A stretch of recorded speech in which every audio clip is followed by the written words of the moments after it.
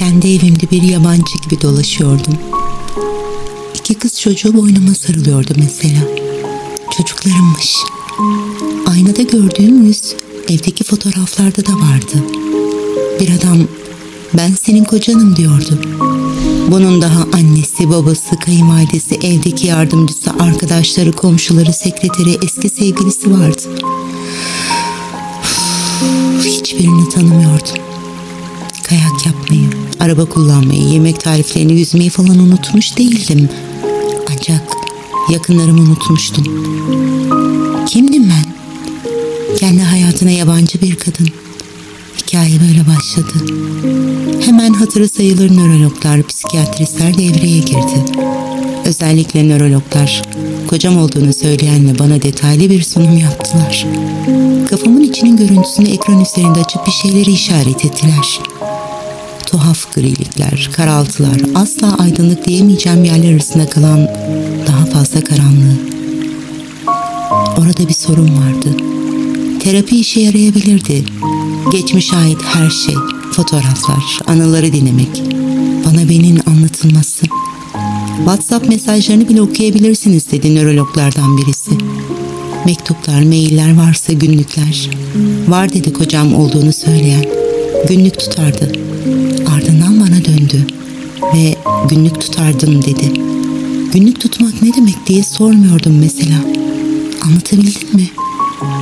Tanımlar vardı, hatıralar yoktu. Bedenim vardı, ruhum uçmuştu. Daha doğrusu etrafımdakiler yüzler, onlara ilişkin hikayeler. En derinimde bir yerden cılız bir ses yükseliyordu. Bunların arasında bağlasan durmam.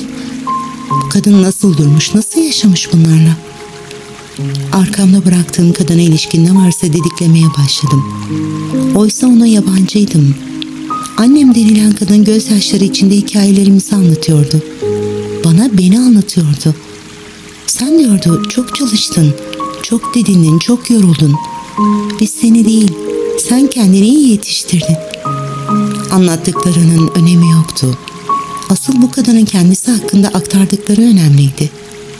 Düzenli değil ama epeyce bir günlük tutmuştu.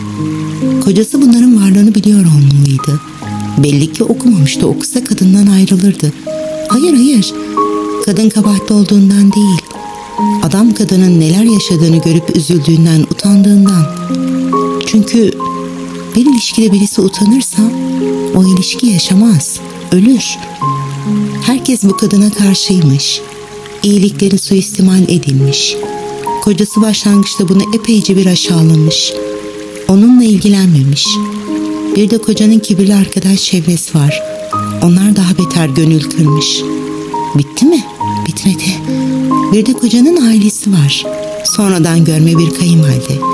Annelerinin sözünden çıkmayan ve çete gibi davranan görümceler. Bu kadın ne kadar ezilmiş yahu. Mesela bir Paris seyahatleri var. Kocası burnundan getirmiş. Şımarıkça şeyler yapmış ama neler. Kadın ne kadar yaralanmış. Bu yaralarla nasıl yaşamış, nasıl ayakta kalmış. Bütün yük onun omuzlarındaymış ve kimsesi yokmuş. Daha doğrusu ona yardım edecek kimsesi yokmuş. Ne arkadaş ne onu anlayacak bir yakını hiç kimse. Ne kadar zorlanmış ve ne kadar güçlüymüş. Dayanmış. Ne kadar çok sevmiş ve herkes için mutluluk verecek şeyler düşünmüş. Zavallı. Parasını elinde tutamamış. Zaten en başında kocası bundan her şeyi esirgemiş. Sinsice davranmış. Yıllarca terapiye gitmiş. Terapistine anlattığı bir rüyasını yazmış. Bu deniz kıyısı gibi görünen dışarıdan neşeli seslerin geldiği evindeymiş. Ve rüya bu ya pencereden bir fok balığı evin salonuna süzülü veriyormuş. Terapist, psikanaliz gibi bir şeyden geçiyor olmalı bu kadın. Yani yüz yüze terapiden farklı bir şey. Düşman evin içinde yorumunu yapmış. Aniden onu anlayan ve dinleyen tek kişi belki o güne kadar oymuş. Artık yabancısı olduğum bu kadının terapistini buldum. Psikanalistini daha doğrusu. Kazadan haberi yoktu. Anlattım. Meğer on yıl önce ona gitmeyi bırakmışım. Bana beni anlatan her türlü kaynaktan söz ettim. Her zamanki gibi beni dinledi. Onu hatırladım. Hatırlar hatırlamaz ağlamaya başladım. Peki ne düşünüyorsunuz diye sordu. Her zamanki müşfik ses. Bilge, anlayışlı. Ömrüm boyunca benden esirgenen sevgi ve anlayışı karşılıksız sunan ses. Ben o kadın için çok üzüldüm dedim. O kadın sizsiniz dedi. Benim dedim. Asla dikte etmezdi. Benim görmemi, benim anlamamı beklerdi. Bunu da hatırlamıştım. Evliliği sona erdireceğim ve çocuklarımdan başka herkese arama mesafe koyacağım. Onları zaten unutmuştum, hatırlamayacağım dedim. Gülümsedi. Gülümsedim. Muayene hanesinden çıktığımda herkesin elinde güller, çiçekler, balonlar, hediyeler. Bir yerden bir yere gittiğini görmüştüm. Vitrinleri süsleyen yazıları. 14 Şubat Sevgiler Günü olduğunu anladım.